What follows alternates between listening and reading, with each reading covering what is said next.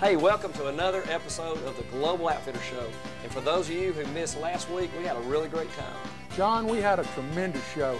We saw some awesome outfitters, and um, each of them are on our website. You can check them out by going to last week's shows, and you can see a video snippet of each one. And all of our featured outfitters give discounts. So check them out. We have 10,000 outfitters for hunting, fishing, and shooting for you to choose from on globaloutfitters.com. And last week we had some really good artwork from artists that we carry here in our Global Outfitters Gallery. And again this week we're going to be looking at some more artwork, including the second in the guide series paintings that I did for, for Global Outfitters. We're going to be looking at a painting called Conjuring White Lightning. And Sam and I went on a fishing trip out in the Gulf on the boat Traveler.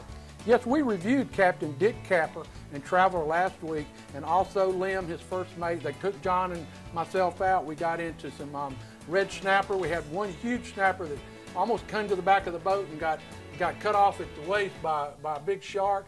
We got into some amberjack. We had a great time. And you know, there's an oil spill down in the Gulf, but per um, Mr. Capper, Captain Capper, they're fishing. They can go 25 miles out. And I know the cobia are biting, and, um, and we're getting ready to go into snapper season where you can keep your snapper. They're doing catch and release right now. So call um, any of those captains down on the Gulf and give them a try. They're still catching fish. They need your business.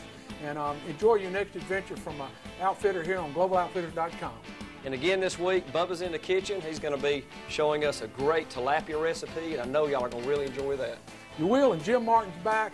He, um, he's finished up the locator calls for the wild turkey, and he's going to spend some time with us showing us how to blow a mouth call. I know that's something that all of us want to do. He's working with Hill Harper's custom mouth calls, and he's blowing a, um, he'll, he'll teach us this week how to blow a cut that, um, that'll pull up any turkey out of the woods. Jim's very good, so stick around and check that out with us as well. So we have a good show in store for you. We'll see you back in a few minutes. Let's go.